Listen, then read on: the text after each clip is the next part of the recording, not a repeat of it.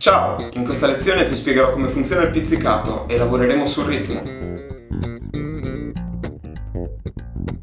La tecnica del pizzicato. Innanzitutto il pollice appoggia delicatamente sul pick up e salirà sulla corda del Mi e sulla corda del La a seconda del range in cui sto suonando, in modo da mutarle.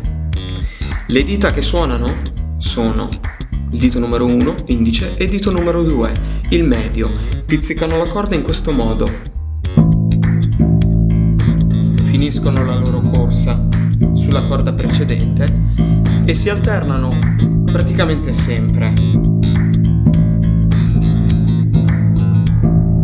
Se dovessi suonare la corda del Mi, la loro corsa finisce sul pollice. Quando suono la corda del Re, il mio pollice appoggia sulla corda del Mi, mutandola. La corda dell'A viene mutata dal ritorno delle dita mentre suonano Re.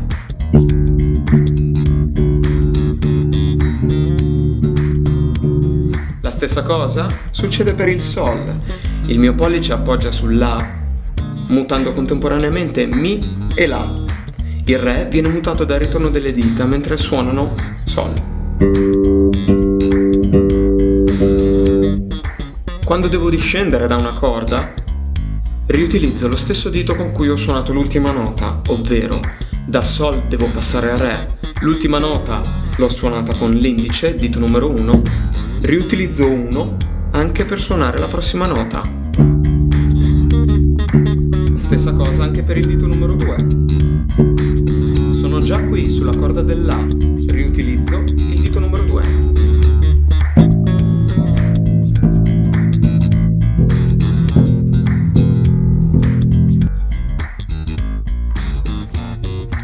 Ok, vediamo le varie combinazioni. Quando devo suonare una nota per corda, esercizio numero 1, ottengo questo.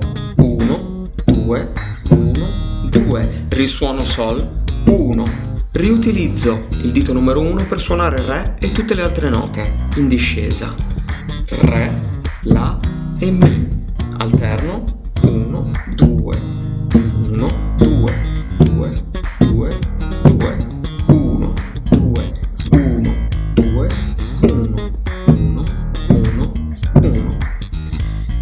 Devo suonare due note per corda, esercizio numero 2, gli ottavi.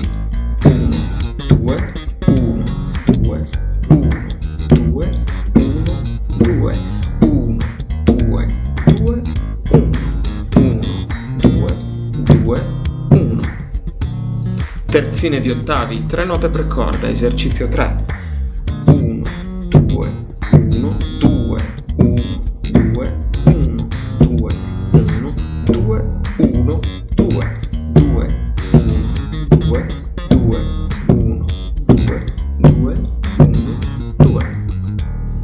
L'esercizio 4, i sedicesimi, utilizzo la stessa combinazione dell'esercizio 2, solo raddoppiata.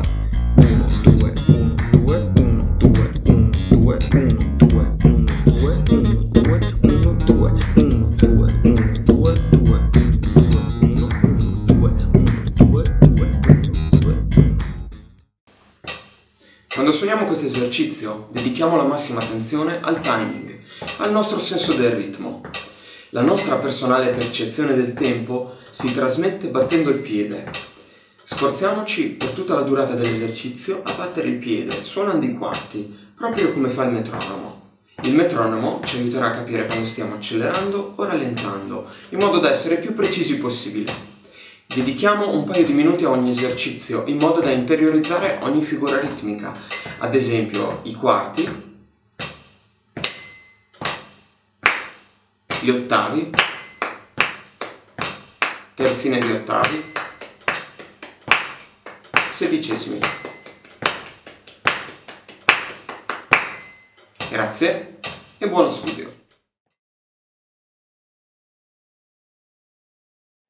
Esercizio 1. Quarti.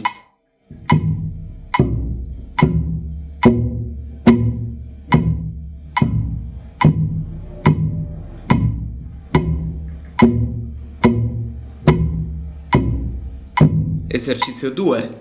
Ottavi.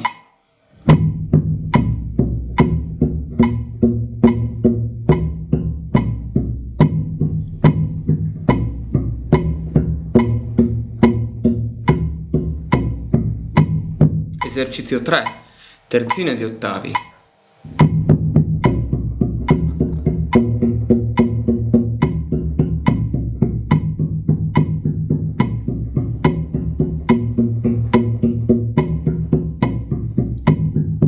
Esercizio 4. Sedicesimi.